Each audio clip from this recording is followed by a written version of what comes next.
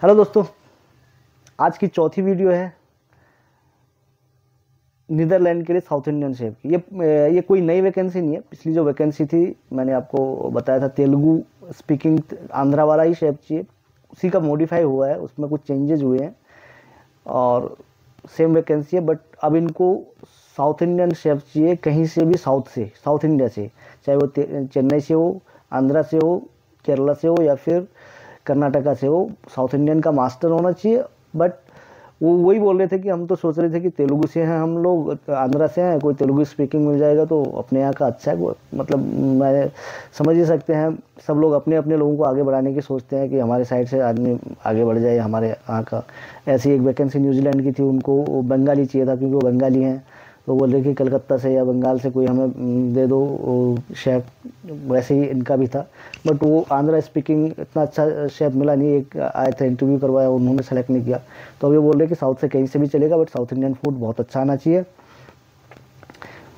और सैलरी का इसका मैंने भी डिटेल आपको पहले बताया था, एक लाख रुपये तक लगभग सैलरी मिल जाएगी, खाना, रहना, सब कुछ डिडक्शन होने के बाद। सैल टैक्स डिडक्शन और खाने का तो कंपनी देती है टैक्स डिडक्शन एकोमोडेशन का डिडक्शन और ट्रांसपोर्टेशन का डिडक्शन होके। लगभग एक लाख नाइन्टी फाइव एक लाख के बीच में आपके पास सैलरी सेविंग हो जाएगी, जो कि आपके पॉकेट में जाएगी। साउथ इंडियन शेप चाहिए और इसका चार्ज भी रीजनेबल है, काफ़ी कम है, बाकी की वैकेंसी के मुकाबले, क्योंकि कंपनी को साउथ इंडियन शेप नहीं मिला था उन लोगों ने मेरे को बोला कि कैसे भी दो। कम रेट में दे दो, जैसे भी देना है मेरे को साउथ इंडियन शेप चाहिए तो इसलिए इसमें अभी रेट भी कम हुआ है। तो आप लोगों का प्रोफ़ाइल इसके साथ नहीं मैच कर रहा है तो साउथ इंडिया में जो काम कर रहे हैं, जो आपके साथ जो साउथ इंडियन शेप लोग कर रहे हैं, उनको ये वैकेंसी भेजिए, उनके साथ शेयर कर दीजिए।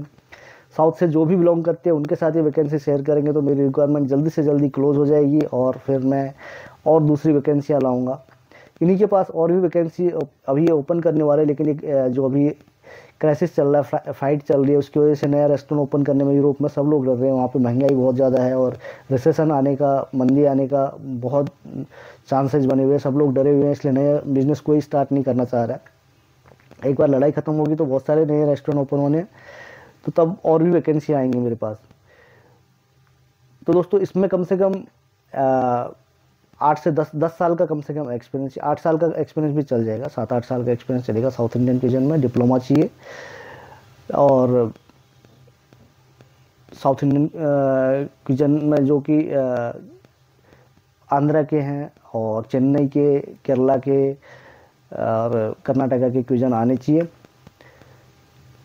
अपने सैलरी मैंने बता दिया आपको। लगभग आपकी जो टेक होम सैलरी होगी, ग्यारह सौ ग्यारह सौ, बारह सौ के बीच में आपको टेक होम हो जाएगी सैलरी प्रोसेस टाइम पाँच से छः महीना लगता है नीदरलैंड का, जो कि मैंने पिछली वाली वीडियो में भी बताया था, पाँच से छः महीना प्रोसेस टाइम लगेगा ऑनलाइन इंटरव्यू हो जाएगा। और दो साल का एग्रीमेंट होगा, दो साल बाद इसको रिन्यू किया जा सकता है, दो साल के बाद आप चार साल करें, पाँच साल करें। बट यहाँ पे पीआर का मैं नहीं बोलूँगा कि पीआर के लिए वहाँ की आपको लोकल लैंग्वेज सीखनी पड़ती है लोकल लैंग्वेज में आपको टेस्ट देना पड़ता है, वो पास कर लेते हैं। जैसे इंग्लिश का टेस्ट होता है, वैसे ही वहाँ की लैंग्वेज का टेस्ट होता है, वो पास हो जाता है तो फिर आप पीआर के लिए भी अप्लाई कर सकते हैं वहाँ पर भी। तो दोस्तों रिक्वायरमेंट को अपने जो भी, आपके साथ जो भी साउथ के शेफ़ लोग काम करते हैं साउथ के शेफ़ लोग नहीं भी करते तो अपने व्हाट्सअप ग्रुप में शेयर कर दो स्टेटस में लगा दो फेसबुक में लगा दो, जहाँ पे भी हो सके, जिससे कि मेरी साउथ की रिक्वायरमेंट भी क्लोज हो जाए। बट इनको बंदा साउथ से ही चाहिए नॉर्थ वाला नहीं चाहिए, इनको साउथ में काम साउथ का ही बंदा चाहिए, जो कि साउथ इंडियन फ़ूड में बहुत अच्छा मास्टर हो। तो प्लीज़ शेयर कर दीजिए। और सब्सक्राइब नहीं किया तो सब्सक्राइब ज़रूर करें। बेल आइकॉन प्रेस करना बिल्कुल ना भूलें। धन्यवाद। कल और सारी वैकेंसी लाएँगे। इस महीने में बहुत सारी वैकेंसी आएँगी, अप्रैल में और ज़्यादा वैकेंसी आएँगी। तो जुड़े रहिए, जोड़ते रहिए, ज़्यादा से ज़्यादा लोगों को जोड़ने में हेल्प करिए, जिससे कि मेरी रिक्वायरमेंट जल्दी जल्दी क्लोज हो और फिर मैं और ज़्यादा काम कर सकूँ। मेरा तो यही ड्रीम है कि मैं जो भी मेरे साथ जुड़े, उनको सबको मैं यूरोप भेज सकूँ और कम से कम चार्जेज में भेज सकूँ। कोशिश जारी है और दैट्स इट थैंक यू